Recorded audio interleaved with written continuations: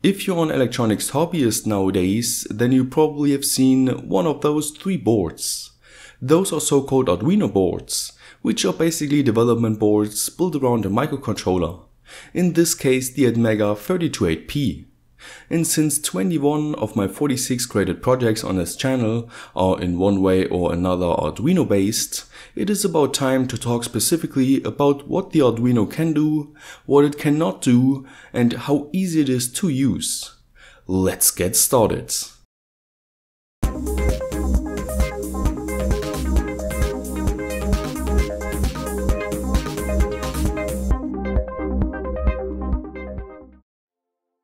First off, let's have a look at the most popular Arduino board, fittingly named Arduino Uno.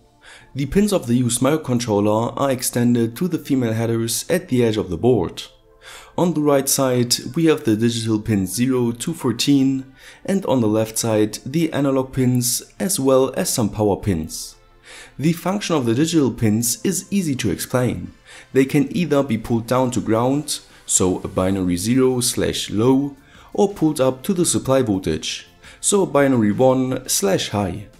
This way, by connecting an LED with current limiting resistor to ground and the digital pin, we can pull the output high to source current from the supply voltage, or by connecting the LED to the supply voltage, we can pull the pin low and thus sink current. But not only that, by declaring a digital pin as an input, which I will show you how to do later, the Arduino can also determine whether the pin senses the ground voltage or the supply voltage.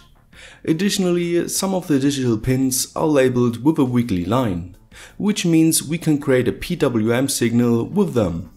That means instead of just turning on or off an LED, we can adjust its brightness, because a PWM signal provides a supply voltage with an adjustable on time. Obviously, the shorter the on time, the darker the LED will get. Now let's move on to the analog pins, which as we can see are labeled as input pins.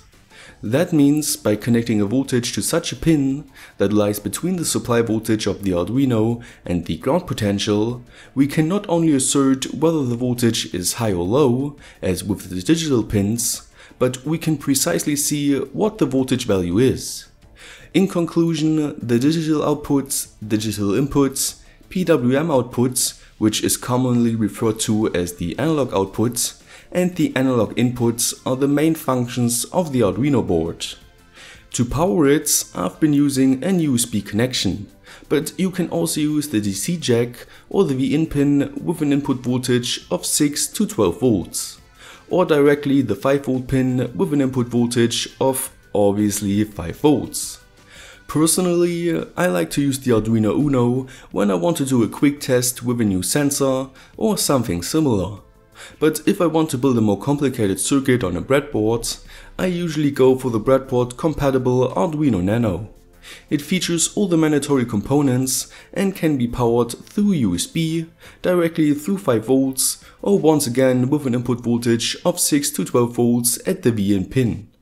But even though they're a bit cheaper in comparison to a complete Arduino Uno, I try to not embed them in a finalized project.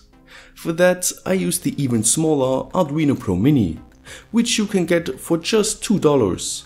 This time USB power is not possible, but you can either directly power the boards through the VCC pin or once again with 6 to 12 volts through the raw pin. Another component that is missing from the Pro Mini is the USB to serial converter, which was used by the other two boards to program the microcontroller. That means we need an additional FTDI breakout board that we have to push onto the corresponding pins of the Arduino Pro Mini to program it. And speaking of programming, let's download and install the latest Arduino IDE and connect the Arduino Nano to the computer.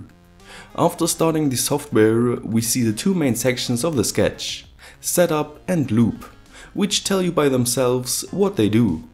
In the setup section, we can use the pin mode function to set the digital pin 7 as an output.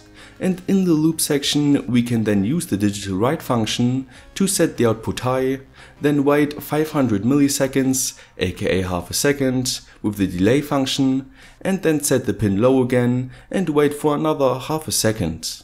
By choosing the correct communication port and uploading the sketch, the RX and TX LED of the Arduino Nano blinks shortly and afterwards the LED does what we programmed it to do. But be careful not to overload the outputs, because the datasheet of the Atmega 328P states a maximum current draw of only 40 mA. Next, we can initialize the serial monitor with a baud rate, which is pretty useful when we want to check on a variable while the code runs. This way, after changing the digital pin to an input, we can output the value of the digital read function through the serial monitor. Now, while the digital pin floats in the air, the readings from it go a bit crazy. That is why we usually use a 10 kilo ohm resistor to either pull the inputs to the supply voltage or ground and thus by hooking up a switch and connecting the other side of it to the opposite potential of the resistor, we have two stable states which we can use in the code to trigger an event. And best of all, the resistor is not mandatory, because we can use the integrated pull-up resistors of the microcontroller, which are around 20 kilo ohms each. Next, I defined the digital pin 3 as an output and used the analog write function to create a PWM signal. In this case, the value 200 would equal an on time of 78%, since with this 8-bit value 255 equals 100% and 0 equals 0%. To adjust this PWM signal fluently though, we could connect the middle pin of a potentiometer to an analog input and the other two pins to VCC and ground. This way we created a voltage divider, which we can sample by defining the analog pin as an input and using the analog read function. Now the serial monitor gives us values between 1023 and 0, which is a 10-bit value with 1023 being the supply voltage and 0 being the ground potential. By simply dividing this value by 4, we can feed it directly into the analog write function and thus finally control the LED brightness through the potentiometer. And with that being said, you are now familiar with the 5 fundamental commands of the Arduino code. Of course, there's plenty more to talk about, like variable types, control structures, comparison operators, interrupts and much more. So if you liked this video series so far and wanted to continue, then give this video a like so that Arduino 102 uh, will follow soon.